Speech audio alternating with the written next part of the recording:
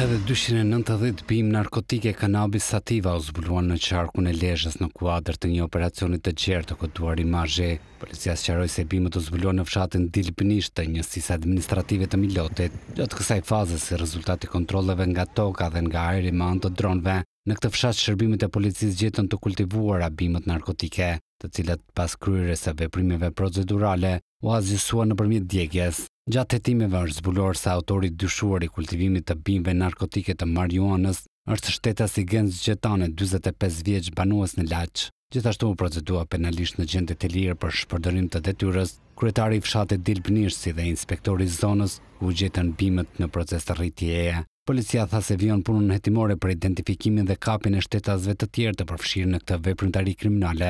Rreth një mijë e gjashtëqind e nëntëdhjetë e një bimë u zbuluan pak ditë më parë në dy fshatra të qarkut, ndërsa mijëra bimë janë asgjësuar gjatë këtyre operacioneve, shpesh pa identifikuar pronarët e tyre.